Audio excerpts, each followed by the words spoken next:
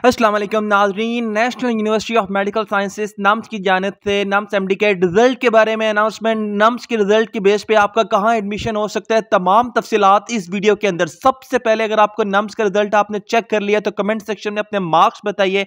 हम आपको बताएँगे कि आपका एम बी में या किसी और किसी भी फ़ील्ड में, किस सी में किस ई एम सी में आपका एडमिशन हो सकता है। ठीक है, परेशान नहीं होना, हम आपको मजीद गाइड करेंगे एडमिशन के मुतालिक।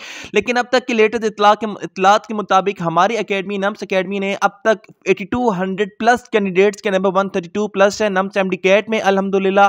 और अब तक लेटेस्ट इतलात के मुताबिक जो नम्स एम के जो टॉपर हैं, उन टॉपर के जो मार्क्स है 142 आउट ऑफ़ 150 बताए जा रहे हैं। इससे ज़्यादा भी हो सकते हैं, लेकिन अब तक 142 हाईएस्ट मार्क्स बताए जा रहे हैं, जो लास्ट ईयर से कम है।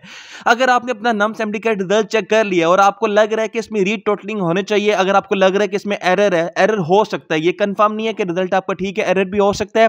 आपने री टोटलिंग जो फॉर्म है, वो अपने वेबसाइट से डाउनलोड करना है। अट्ठाईस सेप्टेम्बर से पहले पहले आपने वो फॉर्म सबमिट करवाना है। रीटोटलिंग से आपके जो मार्क्स हैं वो ज़्यादा भी हो सकते हैं।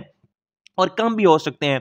अच्छा ये एक बहुत इंपॉर्टेंट क्वेश्चन है कि आप अपने मार्क्स कैसे कैलकुलेट कर सकते हैं? परसेंटेज कैलकुलेट करने के लिए आपने क्या करना है? 80 अगर आपके लाइक लेट सपोज़ आपका स्कोर है 80 परसेंट तो 80 परसेंट को आपने डिवाइड करना है 100 के साथ और उसको मल्टीप्लाई करना है 150 के साथ क्योंकि 150 टोटल एम से साइकोलॉजिकल पोर्शन इसमें कैलकुलेट नहीं होगा। तो इससे आपका टोटल जो मार्क्स हैं वो निकल आएँगे। मजीद तफसीत के लिए कमेंट करें।